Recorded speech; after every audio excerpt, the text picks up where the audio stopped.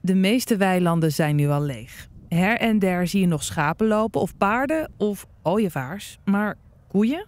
De Schipluidense boer Jan weet er alles van. Hoe staat het eh, gras er nu bij? Ja, eigenlijk eh, erg mooi. eh. Er zijn er nog die verleden week gemaaid hebben. Omdat het zo lang is blijven groeien. En nu droogt het ook weer, weer af. Oktober was natuurlijk een erg natte maand. En nog acht heb ik er buiten. De andere zijn twee weken geleden binnengegaan. Omdat het eigenlijk toen te nat was. Ja, nou gaat het weer goed. Ze eten nog eh, voldoende. Dus, eh, ja, we hebben voer zat, want het is een erge groeizame zomer geweest. Maar ja, het is toch makkelijker als ze het zelf eh, pakken. Waar zijn deze koeien uiteindelijk goed voor? Ja, voor de slacht. Ja, het is eigenlijk, je bent hier, eh, je bent hier geboren en getogen. En eh, ik heb altijd een melkveebedrijf gehad. En nu zit je een beetje met vleesvee, maar eh, het is ook meer liefhebberij. Nu bestaat er ook zoiets als Sinterklaasmelken.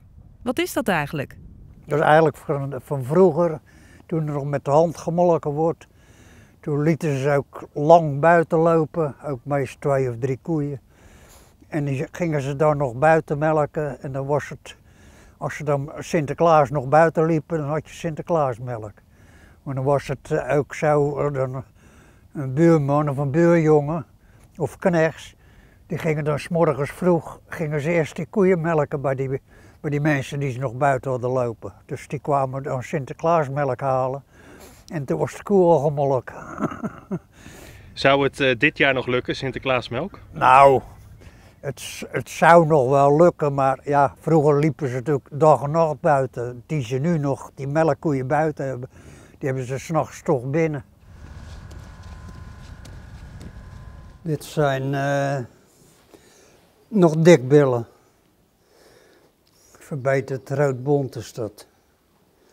Die, worden, die kalven die worden met de keizersnee geboren. En deze gaan niet meer naar buiten. Nee.